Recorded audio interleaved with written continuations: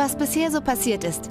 Vorübergehend sind Plätze frei geworden im Corps de Ballet und die Kompanie hat vor, einige des dritten Jahrgangs für den Rest der Saison hier einzusetzen. Sir Jeffrey hat eine Liste aller, die seinem Ideal entsprechen. Wo stehe ich auf der Liste? Ihre Beine. Er mag sie länger. Ich habe immer so getan, als wüsste ich, wo du steckst.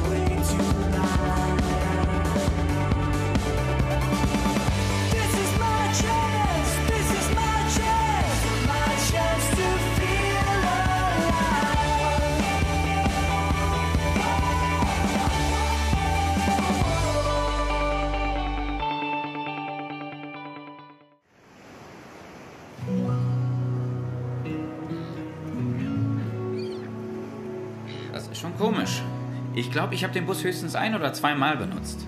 Da ist man ganz schön fertig, hä? War ganz okay. Ich hatte viel Zeit, mich in Sudoku zu verbessern. Danke. Bitte. Also, es ist schön, dass Sie jetzt so viel Zeit zusammen verbringen. Ja. Er hat mir gar nicht erzählt, dass die Schule wieder begonnen hat. Es ist fast März, Rev. Das hättest du dir doch wohl denken können. Hey, wie geht's dir? Mir ist kalt.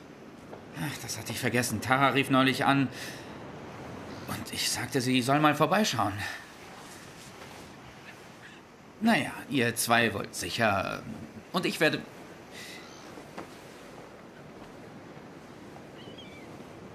Na, was machst du? Hattest du hier Unterricht? Ja, im Kingston Center für klassische Kunst. Christian, entschuldige, dass ich hier so aufkreuze, aber du hattest versprochen, wiederzukommen und ich verstehe dass du das nicht tust, aber vollkommen abzutauchen? Denk mal dran, dass wir uns Sorgen Wer machen. ist wir? Na, wir alle, deine Freunde. Ich habe hier auch Freunde. Eine gute Heimreise.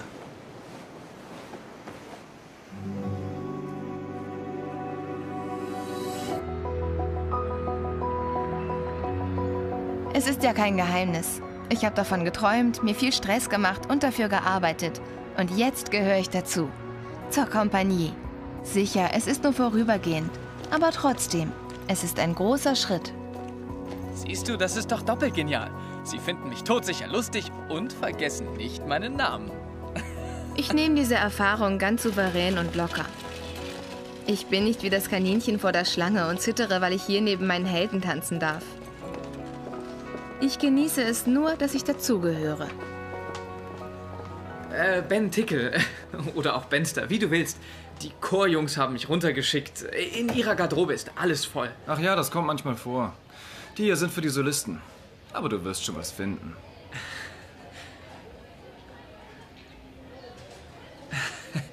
Ist klar.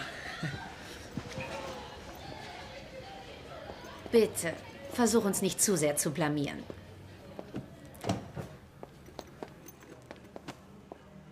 Ähm, okay. Sorry, ich dachte, die weltbeste Ballettschülerin kann Spaß verstehen. Ach, total. Ja, ich lache eher so nach innen. Tara, Hi, Isabel. ist ja unglaublich, dass du hier aushelfen darfst. Wie geht es Ethan? Sag bloß, ist das die Tare, die dir dein Freund weggeschnappt hat? Das ist aber schon sehr lange her. Ach du, ich hätte sowieso Schluss gemacht wegen dieses irren Motocross-Typen. Trotzdem. Es war nirgendwo Platz. Ich verstehe nicht, wie das hier läuft.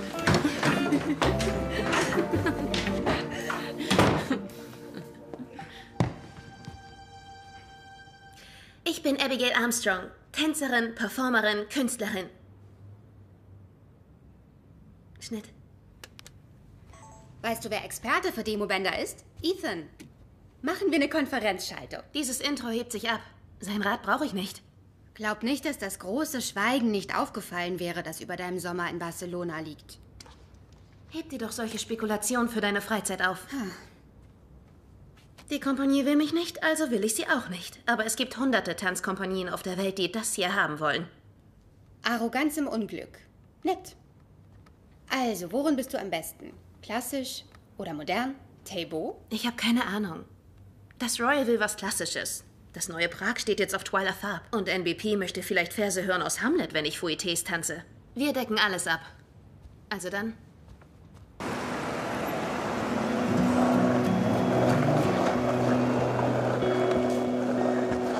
Wenn du das Spezialsalz vergessen hast, Sea Dog.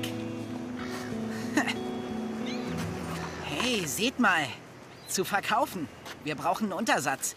Du brauchst vor allem einen Job, Alter. Halt die Klappe, Geld reicht doch. Deshalb durfte ich ja wieder mal zahlen. Siehst du, die Haube ist dreckig. Den kann ich todsicher runterhandeln.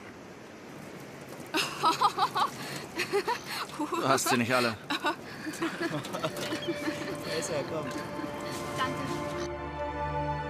Ah, da kommen ja unsere jungen Hühner.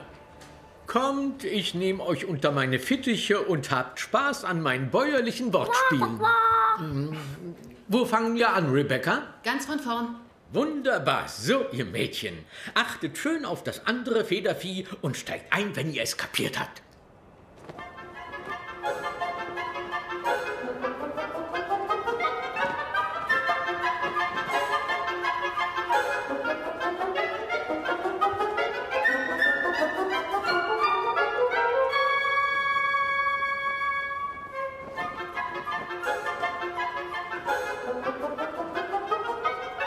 So, stopp bitte. Tara, die nächste Vorstellung ist schon morgen Abend. Verzeihung, darf ich fragen, was die Hühner motiviert? Ach, und ich möchte noch fragen, wie die Garderoben aufgeteilt sind. Es ist so. Ich bin auf einer Farm aufgewachsen und wir hatten eine Henne, Miss Fleckhühnchen. Die hat sich immer mit Dreck geputzt. Etwa so. Ist das ein Vorschlag zur Änderung der Choreografie? Oh nein, natürlich nicht. Die ist meisterhaft. Ich dachte nur, meine Motivation wäre vielleicht Hühnerhygiene. Na, dann zeig es uns. Mhm.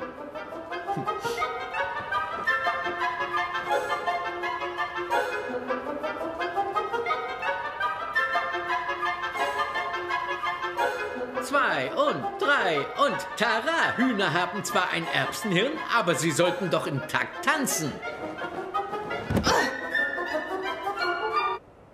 Ich nehme an, das gehörte nicht zu deiner Hygieneidee. Das Landvolk auf die Bühne bitte.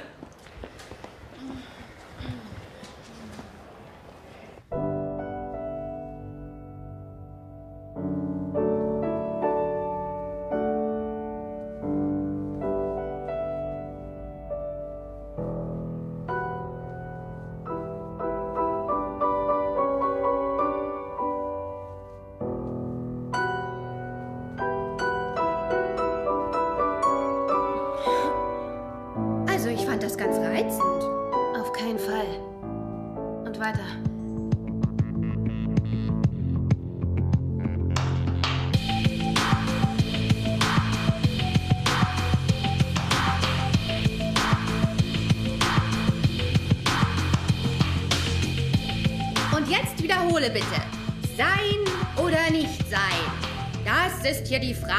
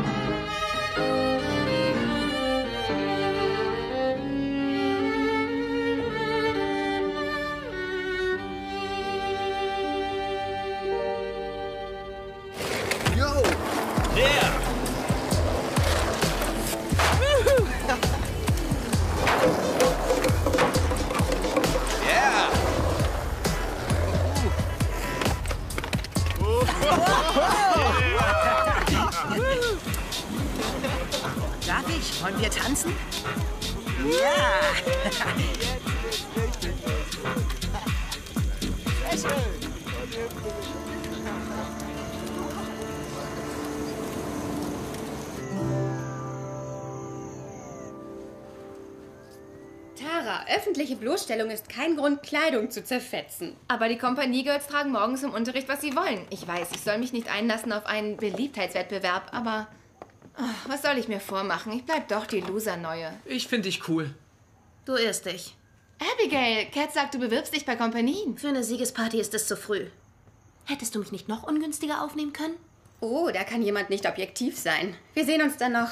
Lass mal sehen, was ich im Schnitt zaubern kann. Und du treibst noch das Zusatzmaterial auf. Den Lebenslauf, Referenzen von anerkannten Autoritätspersonen. Musst du dich nicht auf deine dumme Idee konzentrieren, das zweite Jahr schneller zu schaffen? Weißt du, seit ich wieder da bin, bist du. Du bist meine Tanzpiration. Ist das eine Kombination von Tanz und Inspiration oder Transpiration?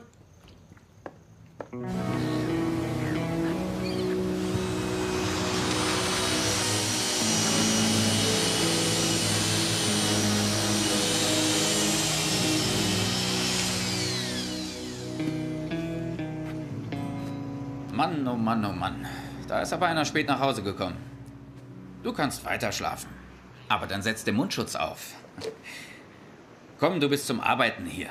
Und zwar bei Tageslicht. Na los!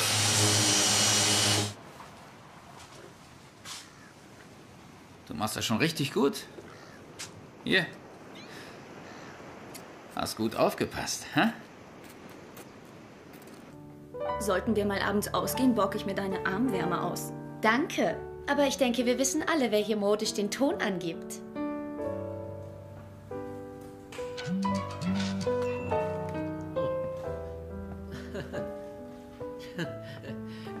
Rebecca? Gut. Giselle. Mancher von euch kennt es als das Ballett, dessen Proben nächste Woche beginnen. Oder als das, für das die Hauptrolle noch nicht besetzt ist. Also, dann gestattet mir jetzt eine kleine dramatische Enthüllung. Ich habe eine der größten Persönlichkeiten unserer Kompanie zurückgewonnen. Ah, wenn man vom Teufel spricht. Teufel? Das ist aber nicht nett.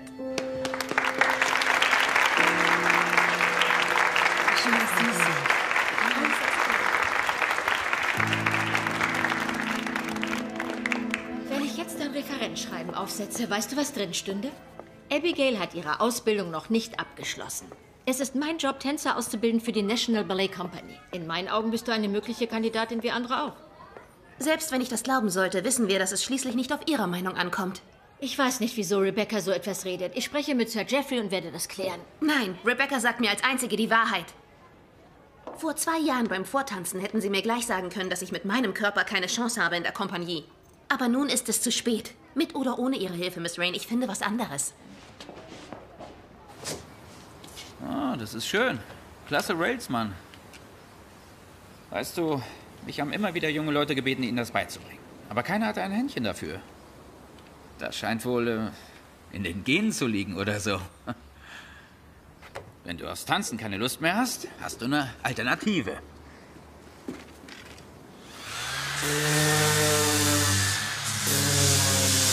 Hey, hey, hey, halt, halt, halt, halt, halt! Was soll das denn? Christian! Hier ackern in deiner dämlichen Garage ist wirklich nicht mein Traumjob, klar? Ist ja gut. Also ich... Es war toll, dich hier zu haben. Aber jetzt reicht es, ja? Das habe ich nicht gesagt. Ich verstehe schon, dass du erstmal Abstand brauchtest, als dein Kumpel gestorben ist. Ich habe dir auch keinen Druck gemacht mit der Schule. Aber hier rumzulungern mit diesen Pfeifen. Ist das dein Ernst? Du nennst die wirklich Pfeifen? Na, das bringt doch gar nichts, oder? Einen tollen Vatervortrag hältst du da, Ref. Große Klasse.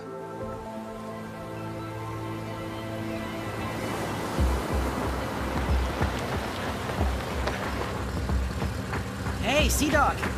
Ich habe ihn eben runtergehandelt. Los, steig ein. Ja! Was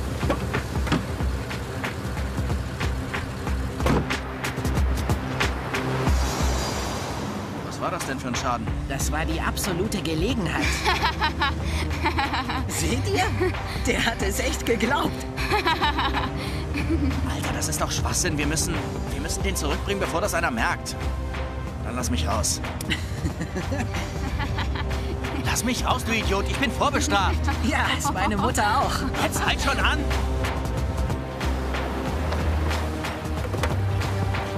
Dann lauf schön nach Hause, du Loser.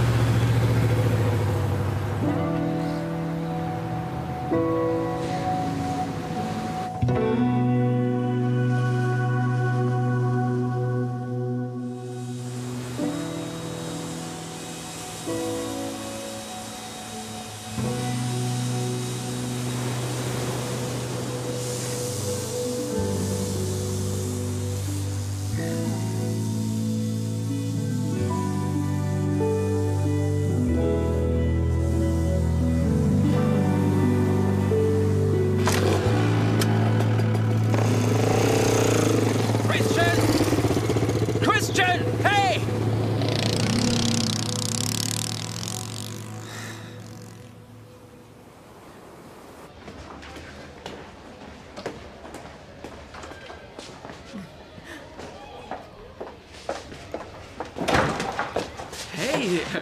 Musst du immer nackt sein? Was?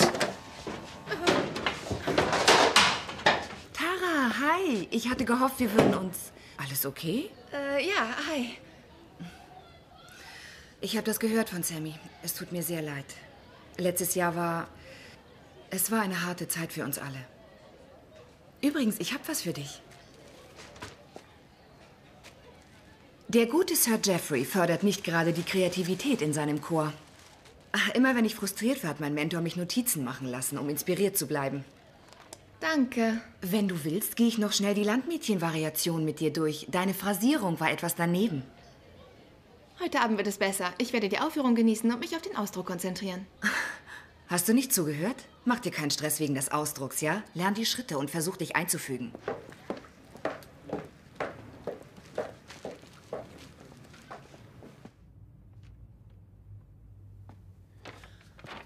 Du weißt ja, ich hatte nicht sehr viel Zeit zum Schneiden. Oh, ich werde mir Fehler notieren.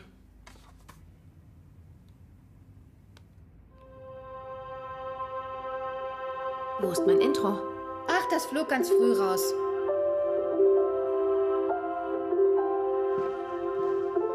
Ach, seht mal, ein tanzender Fötus. Nein, ehrlich, das ist verbotene Kinderarbeit.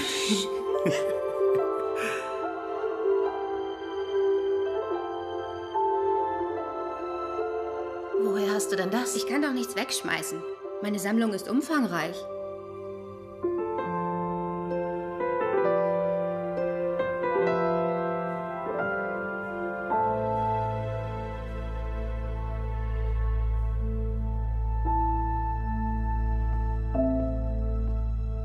Also, wie findest du's?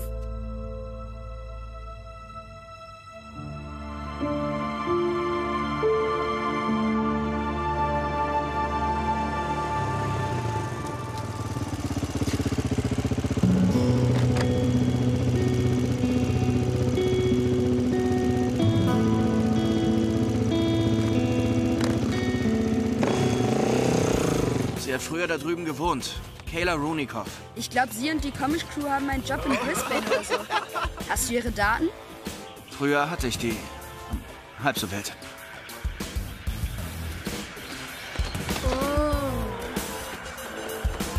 Du hast keinen Halt, wenn die Hand so weit außen ist.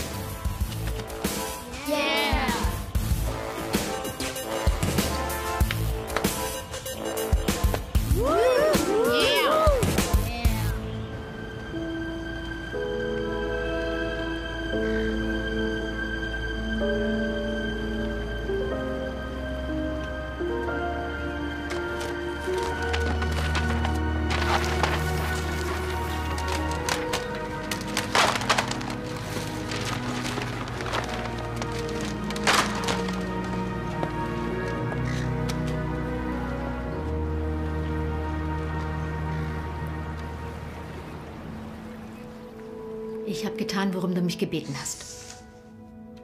Aber es war damals sicher kein Fehler, dich aufzunehmen. Ich halt. Ich halte es nicht aus, wenn sämtliche Kompanien der Welt mir sagen, dass ich nicht zu ihm passe. Dass ich nicht gut Ist genug gut, bin. Schluss jetzt. Das, was du mir hier erzählst, diese Rede, ich gebe es auf, die habe ich schon hundertmal gehört. Aber von dir möchte ich sie nicht hören. Noch nicht. Für die nächsten zwei Wochen wirst du krank sein. Kein Unterricht, kein Training. Sag ein, du hast Drüsenfieber. Kann es vielleicht auch was nicht so ekliges sein, bitte? Nach zwei Wochen. Wenn du dann noch hinschmeißen willst. Dann reden wir noch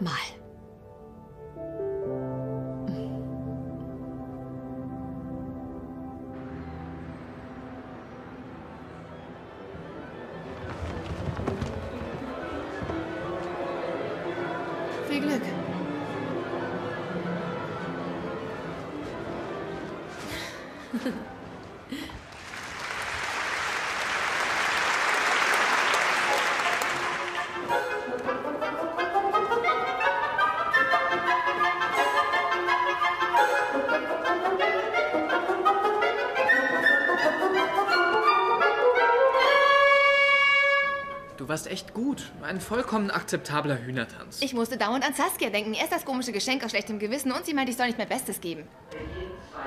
Ich meine, ich spiele ein Landmädchen und Tara Webster kennt Landmädchen. Ja, dann tanzt dein Ding. Achtung, Entschuldigung, die Besenkammer ist für Unbefugte verboten. Wenn's das Reich allein.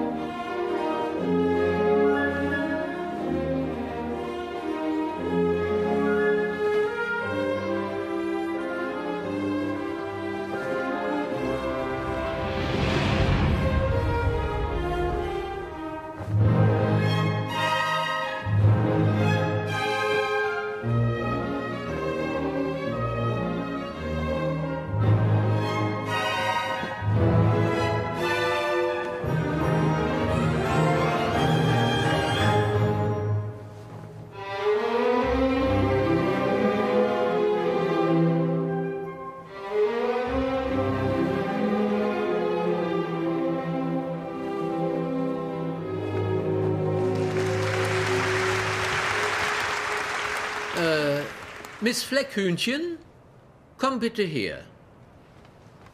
Als Mitglied des Cours de Ballet hast du ausschließlich die Aufgabe, 10 cm vom Tänzer zu deiner Linken zu bleiben und 10 cm von dem zu deiner Rechten. Und jede ihrer Bewegungen perfekt wiederzuspiegeln. Ich weiß nicht, was dich bewogen hat zu dem Verstoß gegen diese fundamentalen Regeln. Außer vielleicht die Hühnerstimmen in deinem Ach, Kopf. nun lass es doch gut sein. Wir haben alle mal angefangen. Sie macht es das nächste Mal besser.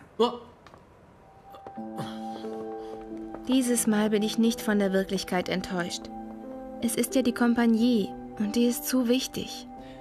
Wenigstens ist Saskia auf deiner Seite. Ist es dadurch weniger ungewöhnlich? Entschuldigung, kannst du mir ein Autogramm geben? Ja, sehr gern. Bist du auch Tänzerin? Ja. Es wird Zeit, alles mal andersherum zu sehen. Saskia hat vielleicht recht. Ich muss mich selbst inspirieren. Toll, nicht? Ich glaube, ich werde jetzt Tagebuch führen in diesem Jahr. Über das Gute und das weniger Gute.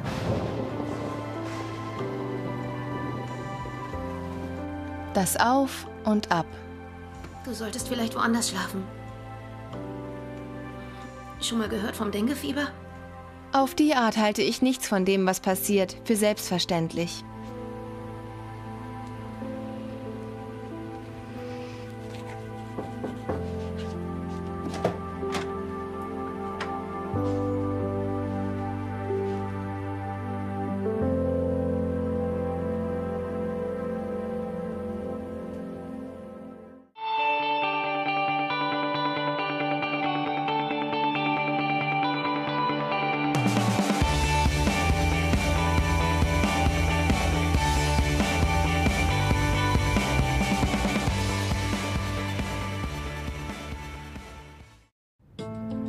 Bisher so passiert ist. Vorübergehend sind Plätze frei geworden im Corps de Ballet und die Kompanie hat vor, einige des dritten Jahrgangs für den Rest der Saison hier einzusetzen. Sir Jeffrey hat eine Liste aller, die seinem Ideal entsprechen. Wo stehe ich auf der Liste? Ihre Beine. Er mag sie länger. Ich habe immer so getan, als wüsste ich, wo du steckst.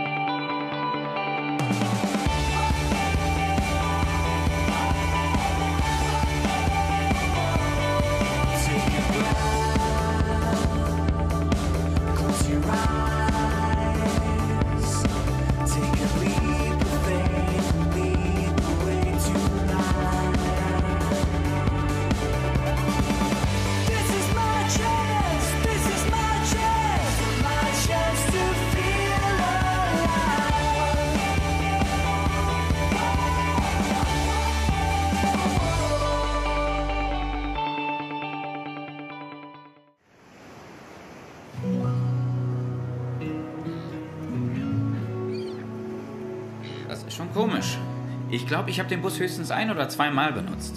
Da ist man ganz schön fertig, hä? War ganz okay. Ich hatte viel Zeit, mich in Sudoku zu verbessern. Danke. Bitte. Also, es ist schön, dass Sie jetzt so viel Zeit zusammen verbringen. Ja. Er hat mir gar nicht erzählt, dass die Schule wieder begonnen hat. Es ist fast März, Rev. Das hättest du dir doch wohl denken können. Hey, wie geht's dir? Mir ist kalt. Ach, das hatte ich vergessen. Tara rief neulich an.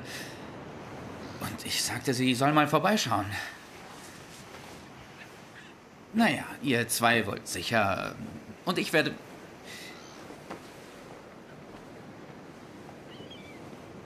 Na, was machst du? Hattest du hier Unterricht? Ja, im Kingston Center für klassische Kunst.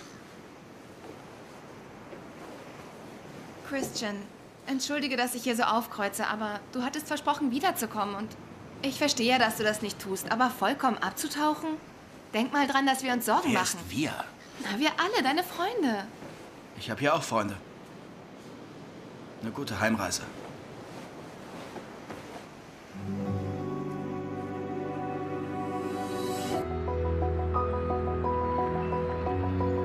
Es ist ja kein Geheimnis. Ich habe davon geträumt, mir viel Stress gemacht und dafür gearbeitet. Und jetzt gehöre ich dazu. Zur Kompanie. Sicher, es ist nur vorübergehend. Aber trotzdem, es ist ein großer Schritt. Siehst du, das ist doch doppelt genial. Sie finden mich todsicher lustig und vergessen nicht meinen Namen. Ich nehme diese Erfahrung ganz souverän und locker. Ich bin nicht wie das Kaninchen vor der Schlange und zittere, weil ich hier neben meinen Helden tanzen darf. Ich genieße es nur, dass ich dazugehöre. Äh, Ben Tickel. Oder auch Benster, wie du willst. Die Chorjungs haben mich runtergeschickt. In ihrer Garderobe ist alles voll. Ach ja, das kommt manchmal vor. Die hier sind für die Solisten. Aber du wirst schon was finden.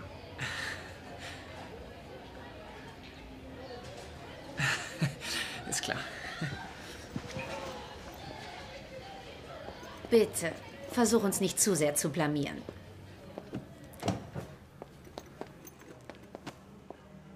Ähm, okay. Sorry, ich dachte, die weltbeste Ballettschülerin kann Spaß verstehen. Ach, total. Ja, ich lache eher so nach innen. Tara! Hi, Isabel. Ist ja unglaublich, dass du hier aushelfen darfst. Wie geht es Ethan? Sag bloß, ist das die Tare, die dir dein Freund weggeschnappt hat?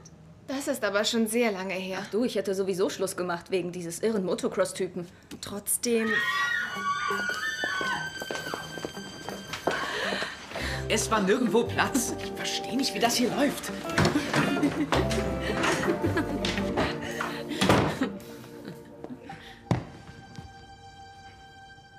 Ich bin Abigail Armstrong, Tänzerin, Performerin, Künstlerin.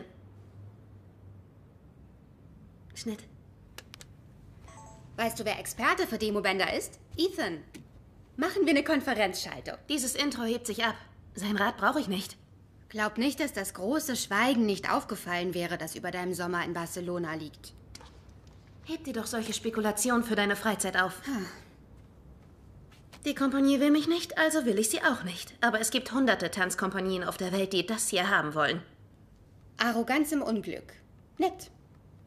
Also, worin bist du am besten? Klassisch oder modern? Table? Ich habe keine Ahnung.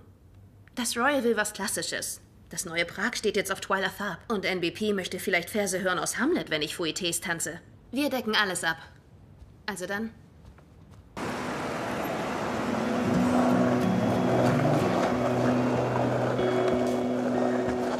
Wenn du das Spezialsalz vergessen hast, Sea Dog. Hey, seht mal. Zu verkaufen. Wir brauchen einen Untersatz. Du brauchst vor allem einen Job, Alter. Halt die Klappe, Geld reicht doch. Deshalb durfte ich ja wieder mal zahlen. Siehst du, die Haube ist dreckig. Den kann ich todsicher runterhandeln. Du hast sie nicht alle.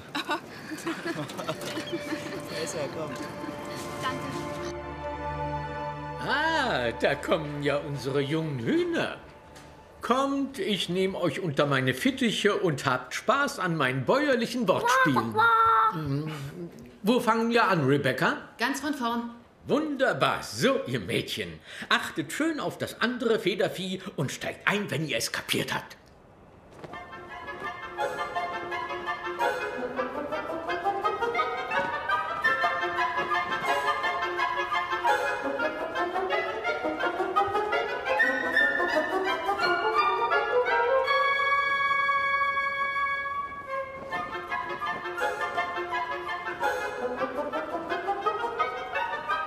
Stopp bitte.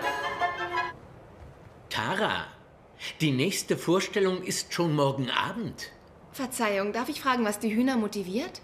Ach, und ich möchte noch fragen, wie die Garderoben aufgeteilt sind. Es ist so. Ich bin auf einer Farm aufgewachsen und wir hatten eine Henne, Miss Fleckhühnchen. Die hat sich immer mit Dreck geputzt. Etwa so. Ist das ein Vorschlag zur Änderung der Choreografie? Oh nein, natürlich nicht. Die ist meisterhaft. Ich dachte nur, meine Motivation wäre vielleicht Hühnerhygiene.